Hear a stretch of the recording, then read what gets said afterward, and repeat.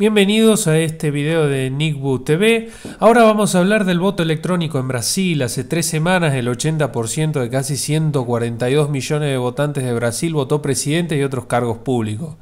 Así se fortaleció este sistema de voto electrónico y este, de alguna manera se está utilizando la tecnología para procesos electorales.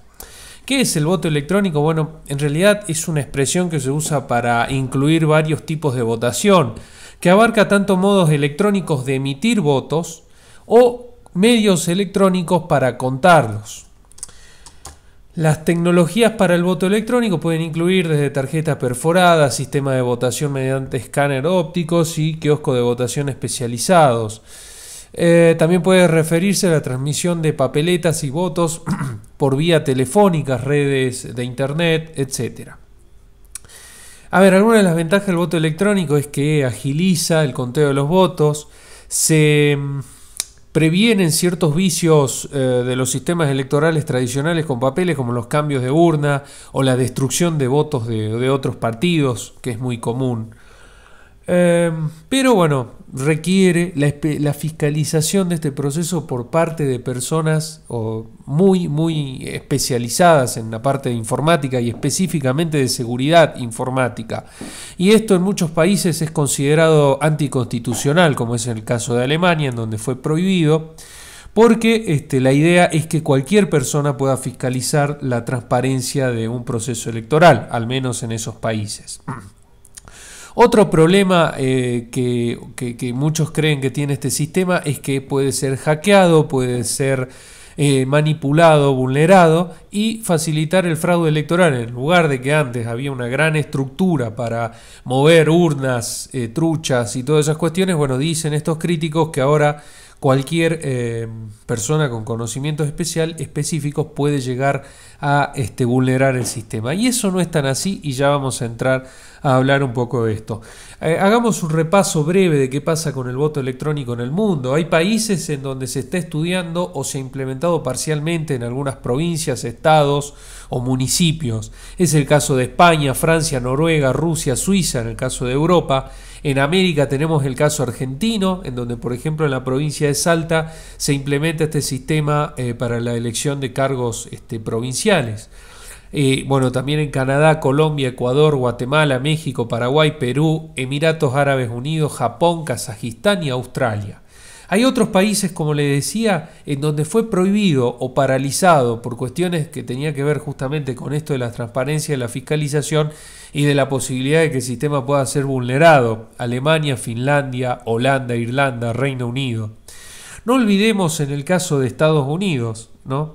que es uno de los países donde está implantado, está implantado en Estados Unidos, Bélgica, Estonia, Venezuela, Filipinas, India y Brasil, que es lo que vamos a hablar ahora. Pero en el caso de Estados Unidos, en el año 2000, específicamente en el estado de Florida, bueno, se dio toda una situación bastante extraña con un sistema de voto electrónico basado en tarjetas perforadas que, bueno, terminó definiendo la elección a favor de George Bush en lugar de este, Al Gore en ese momento, que, bueno, fue eh, muy criticados por muchos sectores diciendo que ahí se había cometido fraude. Bueno, vamos al caso de Brasil, que es en donde mañana se va a celebrar la segunda vuelta electoral que va a definir quién es el próximo presidente de Brasil, donde está Rousseff versus Aécio Neves. Ya dije en otro video que en mi opinión le convendría a Brasil y a Sudamérica que gane Neves pero no vamos a entrar en ese tema de nuevo. Bueno, en Brasil, en 1995, ya hace casi 20 años, se aprobó la ley electoral que marca las directrices del voto electrónico y en 1996 empezó a implementarse este sistema basado en urnas electrónicas. En las elecciones locales del año 2000, el sistema de voto electrónico abarcó desde la identificación de los electores hasta la publicación del resultado final. En 2002, el 100% de los votos presenciales fueron emitidos electrónicamente. En 2008, en las elecciones municipales de tres ciudades, se fue más allá y se creó un sistema de identificación o se utilizó un sistema de identificación biométrica de los electores mediante el registro de huellas digitales. En las elecciones generales de 2010, aproximadamente 4 millones de electores ya utilizaron este sistema biométrico. Eh, y se fue generalizando en las siguientes elecciones hasta llegar en las elecciones anteriores, la del 5 de octubre, a eh, un nivel de 20 millones de ciudadanos que utilizaron esta urna biométrica. No obstante, fue efectiva en el 95% de los casos, más o menos un 5% no fue efectiva porque a veces la gente no sabía cómo utilizarlo o en algunos casos, bueno, las mediciones biométricas no eran exactas porque por ahí eran personas que eh, manipulaban elementos químicos y todas esas cuestiones y modificaron sus huellas dactilares de alguna manera sin quererlo. Salgando esa situación, hubo aproximadamente un 5% de eh, casos donde el sistema de biométrico no funcionó y se requirió utilizar el sistema anterior. El Tribunal Superior Electoral de Brasil dijo que para este, eh, esta nueva, eh, esta segunda vuelta se va a utilizar nuevamente este sistema biométrico y esperan a través de un operativo especial que este porcentaje de negativos se achique a menos del 5%. Pero volvamos atrás al año 2009, justamente este Tribunal Superior Electoral de Brasil dijo, a ver, ¿quieren transparencia? ¿Quieren eh, saber, comprobar que el sistema es eh, transparente, funciona bien? Bueno, llamó a todos los hackers de Brasil, expertos informáticos, algunos ciudadanos comunes que por ahí eran aficionados a la seguridad informática y dijo, a ver, hackeen el sistema de urnas electrónicas. Esto se dio durante cuatro días. 38 especialistas de informática e ingeniería de redes intentaron violar sin éxito los códigos de seguridad del software que, reguló, eh, que regula las urnas electrónicas.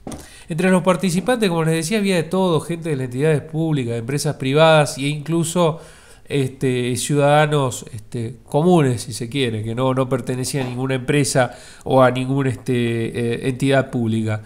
Eh, los tres participantes que aportaron eh, las, mejor, eh, las mejores ideas le dieron, bueno, este, recibieron premios de hasta 5 mil reales. En la elección anterior, la del 5 de octubre, en la primera vuelta, se dio un récord que fue bastante importante. En menos de tres horas escrutaron 135 millones de votos, así de fácil y así de rápido. Eh, los resultados oficiales fueron publicados tan rápido que ninguna, este, ningún sondeo este, realizado por, por, las consultoras, vieron este, eh, los sondeos de boca de urna, no, no tuvieron tiempo en ser difundidos. Y gracias a Dios que no lo difundieron porque las encuestadoras se equivocaron y feo, eso hablábamos en el otro video de que la daban este, en el balotaje a, Marina Silva y finalmente entró a Ezio Neves, que todas las consultoras lo daban tercero. Hubieron algunas fallas este, aisladas en el sistema, especialmente en Río de Janeiro y Brasilia, y esto que les decía de los problemas con las huellas dactilares, algunos actos de vandalismo que es eh, habitual no solo en Brasil, sino en muchos países de Sudamérica en las elecciones, pero en general el sistema funcionó. Eh, verdaderamente, bueno, mañana, además de este operativo especial que decía para, eh, favorecer la efectividad del sistema biométrico, se van a usar en total 530.000 máquinas. Claro, Brasil es un país gigante. Y además los ciudadanos pueden descargar una aplicación para sus smartphones y tablets en donde pueden conocer bueno, los resultados del proceso electoral en tiempo real. Eso ya también se había implementado en Salta, eh, en Salta Argentina en las elecciones anteriores. En la primera vuelta recuerdo que no funcionaba bien la aplicación, era un desastre. Ya en la elección siguiente mejoró y mucho el sistema. Este, yo tengo algunas críticas respecto del sistema de voto electrónico, eh, pero bueno, este, la verdad es que bueno, por ahí la cuestión de la transparencia no me termina de cerrar. Pero la realidad es que, bueno, la tecnología de la información, como siempre digo en otros videos, este, llega a todos lados y, bueno, también llega al proceso electoral. Vamos a ver cómo salen eh, mañana el proceso. Seguramente, de nuevo, este sistema va a seguir comprobando su efectividad y digamos esto, en Brasil con ese sistema, porque hay sistemas que son diferentes. Por ejemplo, el de Salta es distinto al de Brasil y es distinto al que se había implementado en Alemania y Holanda, que luego lo terminan prohibiendo, y es distinto al de las tarjetas perforadas que hablábamos del año 2000 en Florida. Se puede decir, vuelvo a decir lo mismo, que el sistema de voto electrónico, de urna electrónica, eh, creado y utilizado en Brasil es efectivo, pero no da para generalizar. Muchas gracias.